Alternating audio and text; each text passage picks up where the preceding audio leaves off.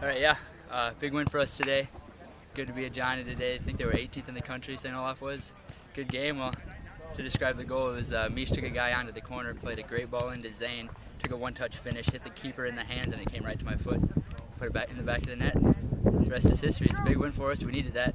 Good for the team, and uh, absolutely fantastic win. Obviously, we were we were pretty desperate for the result, but we've been playing well all year and just haven't quite been getting the, the bounce of the ball. Um, none of the boys are surprised that we got the win, but it's against a, a very good team, top 25 of the nation, and, and we're excited to, to take it to the rest of the MIAC.